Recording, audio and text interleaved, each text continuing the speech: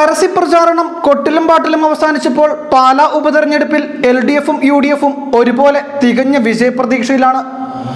അരനൂറ്റാണ്ടായി K M മാണിയുടെ തട്ടകമായിരുന്ന പാലാ മണ്ഡലം നിലനിർത്താൻ യു ഡി എഫും തിരിച്ചു പിടിക്കാൻ എൽ ഡി എഫും അണിയറയിൽ തന്ത്രങ്ങൾ മെനഞ്ഞുള്ള പ്രചാരണ മത്സരത്തിലായിരുന്നു.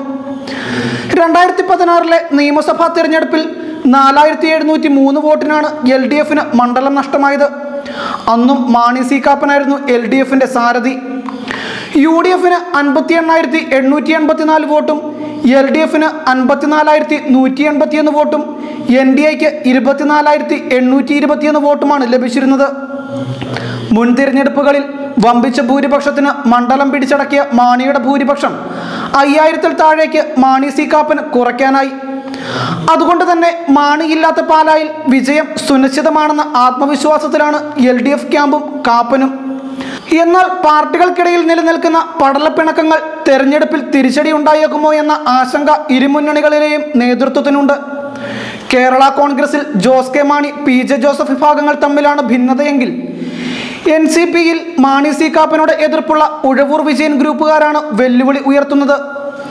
കാപ്പനെ സ്ഥാനാർത്ഥിയാക്കിയതിൽ പ്രതിഷേധിച്ച് കോട്ടയം ജില്ലയിൽ നിന്നും നാൽപ്പത്തിരണ്ട് പ്രവർത്തകർ എൻ സി പി വിട്ടത് അടുത്ത ദിവസമാണ്.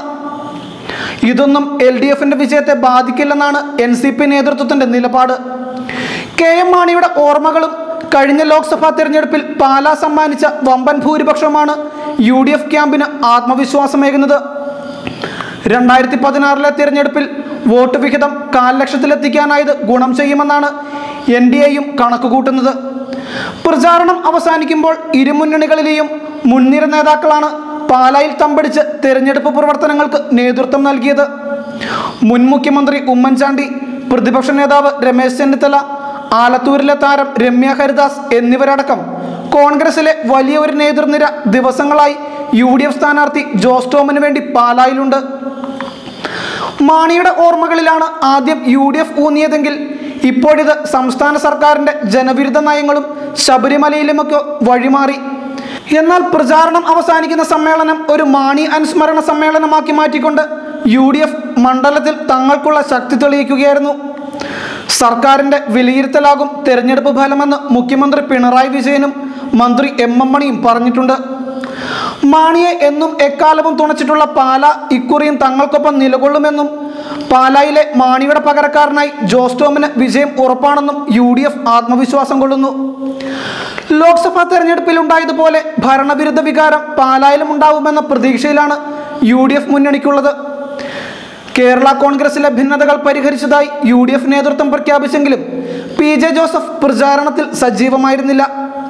തൊടുപുഴയിലെ വീട്ടിലെത്തി പി ജെ ജോസഫുമായി ജോസ് ടോം കൂടിക്കാഴ്ച നടത്തിയത് മഞ്ഞുരകലിന് കാരണമാകുമെന്നായിരുന്നു. പക്ഷേ യു ഡി എഫിന്റെ കണക്കുകൂട്ടൽ ഫലം കണ്ടിരുന്നില്ല.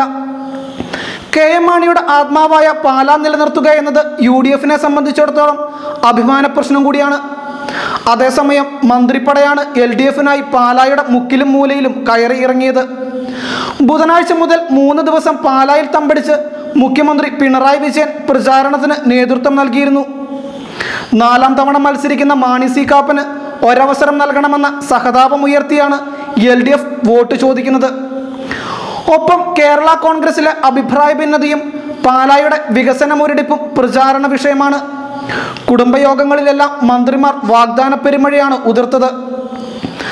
പാലായിൽ മത്സ്യമാർക്കറ്റ് തുടങ്ങുമെന്ന് വാഗ്ദാനം നൽകിയ മന്ത്രി മേഴ്സിക്കുട്ടിക്ക് തിരഞ്ഞെടുപ്പ് കമ്മീഷന്റെ താക്കീത് വരെ കിട്ടി സി പി എം സംസ്ഥാന സെക്രട്ടറി കോടിയേരി ബാലകൃഷ്ണൻ സഭാ നേതൃത്വങ്ങളുടെ പിന്തുണ ഉറപ്പാക്കാനുള്ള ശ്രമമാണ്. S N D P Yogam general secretary Vellappally നടേശന്റെ ഇടത് അനുകൂല പ്രസ്താവന എൽ ഡി എഫ് ക്യാമ്പിൽ ആവേശത്തിനൊപ്പം ആശങ്കയും ഉണ്ടാക്കിയിട്ടുണ്ട്. ശ്രീനാരായണീയർക്കിടയിൽ മാണി സി കാപ്പൻ തരംഗമെന്നായിരുന്നു വെള്ളാപ്പള്ളി പറഞ്ഞത്. ക്രൈസ്തവ നായർ വിഭാഗങ്ങൾക്ക് മുൻതൂക്കമുള്ള മണ്ഡലത്തിൽ ഇതെങ്ങനെ പ്രതിഫലിക്കുമെന്ന് ആശയക്കുഴപ്പത്തിലാക്കി. എൻ എസ് എസിന്റെ വോട്ടും മണ്ഡലത്തിൽ നിർണായകമാണ്. ശബരിമല മുന്നോക്ക കമ്മീഷൻ വിഷയങ്ങളിൽ സർക്കാരുമായും സി പി എമ്മുമായും അത്ര രസത്തിലല്ല എൻ എസ് എസ്. തങ്ങളുടെ പിന്തുണ ആർക്ക് എന്നത് സംബന്ധിച്ച് എൻ എസ് എസ് മനസ്സു തുറന്നിട്ടുമില്ല. മണ്ഡലത്തിലെ നായർ വോട്ടുകളിൽ കണ്ണും നെട്ടാണ് എൻ ഡി എ സ്ഥാനാർത്ഥി എൻ ഹരിയുടെ പ്രചാരണം. രണ്ടായിരത്തി പതിനാറിലെ തിരഞ്ഞെടുപ്പിനെ അപേക്ഷിച്ച് ഇത്തവണ നില മെച്ചപ്പെടുത്താനാവുമെന്നാണ് എൻ ഡി എ ക്യാമ്പിന്റെ പ്രതീക്ഷ. കേന്ദ്രമന്ത്രിമാരെ അടക്കം ബി ജെ പി പാലായിൽ പ്രചാരണത്തിനെത്തിച്ചിരുന്നു. ഒരു ലക്ഷത്തി എഴുപത്തി ഏഴായിരത്തി എണ്ണൂറ്റി അൻപത് പേരാണ് പാലാ ഉപതെരഞ്ഞെടുപ്പിൽ വോട്ടർമാരായുള്ളത്. ഇതിൽ തൊണ്ണൂറായിരത്തി എണ്ണൂറ്റി പതിനാല് പേർ സ്ത്രീകളും എൺപത്തി ഏഴായിരത്തി മുപ്പത്തിയാറ് പേർ പുരുഷന്മാരുമാണ്. പൊളിറ്റിക്കൽ ഡെസ്ക് വാർത്തകൾക്കപ്പുറം ന്യൂസ്.